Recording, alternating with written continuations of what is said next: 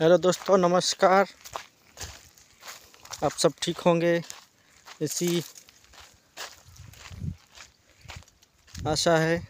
ये देखिए हमारी मिर्ची। तो दोबारा से इसको अभी पानी और खाद देने वाले हैं अभी। ये देखिए। मैंने जो ने, अगले वीडियो में जो बताई थी सूखी मिर्ची, वो यहाँ से ही उतारी गई थी। आप देख सकते हैं, पूरा खेत मिर्ची का है। और पक चुके हैं मिर्ची।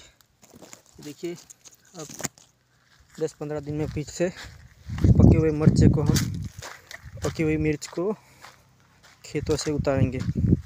तो ये देखिए, खाद आ चुका है हमारा। इसमें कौन सा खाद ना डालने वाला है? तो ये देखिए, वो फ़र्स्ट बैग है, ये यूरिया की है। ये देखिए, ये यूरिया है।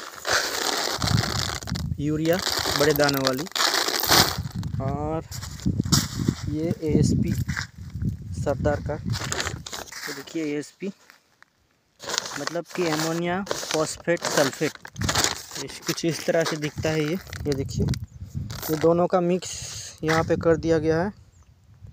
मिक्स करके इसमें हम डालेंगे मिर्ची के अंदर। और पीछे से आ, पानी दे देंगे। इसलिए अच्छा ग्रोथ इसमें देखने को मिल जाएगा। ये देखिए मिर्ची लग चुकी है और पक भी चुकी है। अब कुछ दिनों में इसे हम उतार के सुखा के मार्केट में भेज देंगे। तो देख सकते हैं अब ये तीन या चार बार मिर्ची उतर चुके हैं, फिर भी अभी मिर्ची इसमें कम नहीं हुई, आप देख सकते हैं, ठीक है?